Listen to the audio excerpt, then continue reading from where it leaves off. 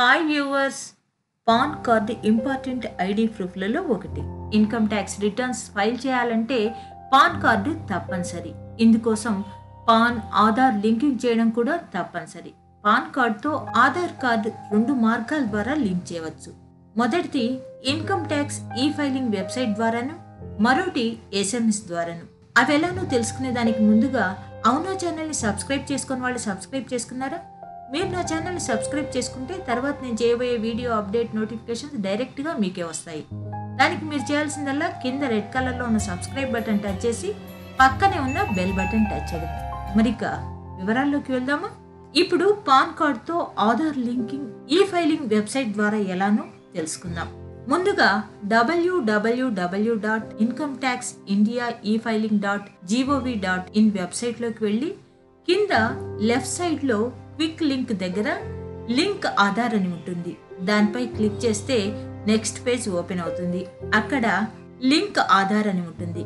కింద ఉన్న కాలమ్స్లో PAN number Aadhaar number name as per Aadhaar అంటే ఆధార్లో ఎలా ఉందో అలా ఫిలప్ చేసి కింద ఉన్న కాలమ్స్ అన్ని ఫిలప్ చేసి క్యాప్చర్ టైప్ చేసి లింక్ ఆధార్ క్లిక్ చేయాలి.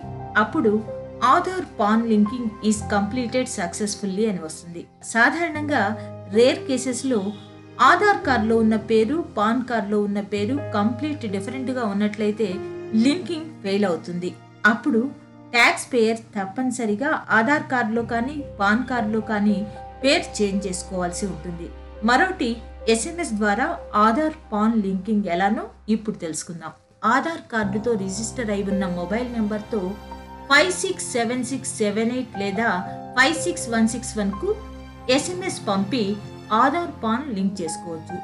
దానికోసం యుఐడి పిఏఎన్ అని ఎంటర్ చేసి స్పేస్ ఇచ్చి ట్వెల్వ్ డిజిట్స్ కల ఆధార్ నెంబర్ ఎంటర్ చేసి మరలా స్పేస్ ఇచ్చి పాన్ నెంబర్ ఎంటర్ చేసి పైన చెప్పినటువంటి five six seven six seven eight కానీ లేదా five six one six one కానీ ఏదో ఒకదానికి ఎస్ఎంఎస్ పంపాలి. ఆ తర్వాత కొద్ది రోజుల్లో ఆధార్ పాన్ లింక్కి సంబంధించి మనకు మెసేజ్ వస్తుంది. ఈ విధంగా ఆన్లైన్లో income tax e filing website ద్వారా కానీ లేదా సింపుల్గా ఎస్ఎంఎస్ ద్వారా కానీ పాన్ నెంబర్తో ఆధార్ నెంబర్ను లింక్ చేసుకోవచ్చు. ఐటీ రిటర్న్స్కు పాన్ కార్డ్తో ఆధార్ నెంబర్ లింక్ తప్పనిసరి కూడా. రెండు వేల పంతొమ్మిది సెప్టెంబర్ ముప్పై వరకు ఈ రెండింటిని లింక్ చేసుకోవచ్చు. ఇలాంటి మరిన్ని అప్డేట్స్ కోసం please like share and subscribe. అవునా ఛానల్?